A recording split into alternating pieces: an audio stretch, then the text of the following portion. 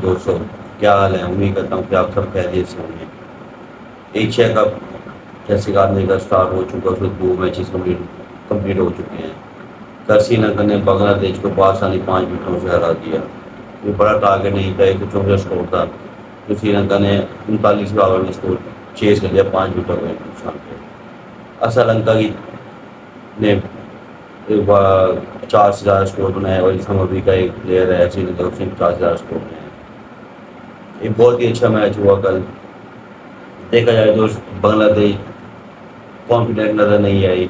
अगर आप देखें वही शाकिब उल हसन की आउट आउट आउट जिसम वो आउट हुआ था, अगर आप वो देखें, वो शॉट मारने जा रहा था, पहले ग्लव्स को लगती है बॉल बैट बाद में आता है। उसके बाद ग्लव्स को लगती है बॉल बैट से भी पहले क्रॉस कर जाती है। जिसकी वजह से उन्हें समझ नहीं आया था कि हमने क्या खेलना किसा खेलना। टाइमिंग ही नहीं थी शॉट्स के अंदर उनके। कोई समझ नहीं आया उनके बैट्समैन पैनिक सिचुएशन में क्रिएट कर रहे थे, खेल रहे थे प्रेशर में खेल रहे थे। कोई अच्छा परफॉर्म नहीं कर सके, जिसकी वजह से बांग्लादेश की पूरी टीम आउट हो गई। अब देखें बैट एंड बॉल का मिलाप भी बिल्कुल ठीक नहीं था। टाइमिंग ही आउट ऑफ़ कहते ना आउट ऑफ़ द वे जाके खेल रहे थे। यानी कि बॉल कहीं फट रही थी, खेल किधर रहे थे, समझ नहीं आ रही थी उनके साथ। Shakib ul Hasan one of the best example आप देखें। बॉल आती है ग्लव्स लग के निकल जाती, बैट बाद में आते हैं। इट मीन्स आई सेट नहीं थी। आउट ऑफ़ प्रैक्टिस से या क्या थे, जो भी थे। एक आसानी मैच आसान मैच श्रीलंका ने जीत लिया। आज का दिन रेस्ट है। कल पाकिस्तान वर्सेस इंडिया है। बहुत ही बड़ा मैच है। आज ड्राइवर्स हैं। बहुत ही पुराने ड्राइवर्स हैं। देखते हैं कल क्या बनता है। उम्मीद करता हूँ कि पाकिस्तान कल अच्छा खेलेगी। उम्मीद करता हूँ बाबर आज़म, चाचा इफ्तार इमाम हक फ़खर जमान रिजवान सारे अच्छे ही खेलेंगे, पूरी टीम भी अच्छा खेलेगी। लेकिन उधर से उम्मीद करता हूँ कि रोहित शर्मा भी अच्छा खेलेगा, के राहुल भी अच्छा के राहुल तो कब खेलेंगे, नहीं, वो पहले दो तीन मैचों के लिए आउट है। रोहित शर्मा हो गया, विराट कोहली हो गया, ऋषभा पांत हो गया, जडेजा हो गया, हार्दिक पांड्या हो गया सूर्य कुमार यादव हो गया। यानी ये सब अच्छा खेलेंगे। मैं एक अच्छा मैच हो वन साइडेड मैच हो, एक टफ मैच हो, पता लगे कि जान मारी है दोनों टीम।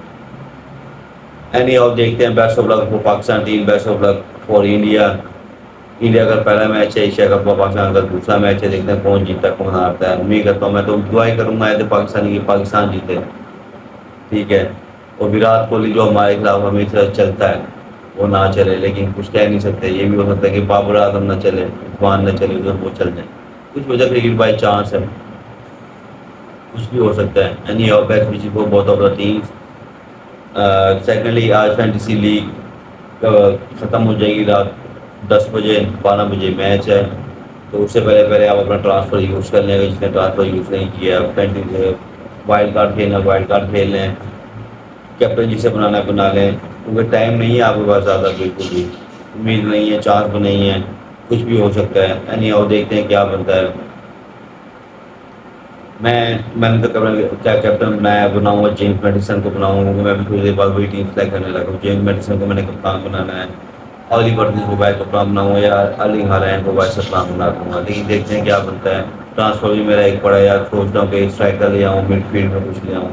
एनी और देखता हूँ जो मुझे सूटेबल लगी पोजिशन जो लगा कि यार ये प्लेयर अच्छा खेलेगा उस प्लेयर को मैं ले आऊँ, चाहे वो स्ट्राइकर क्यों ना हो, चाहे वो मिडफील्डर क्यों ना हो, चाहे वो डिफेंडर क्यों ना हो।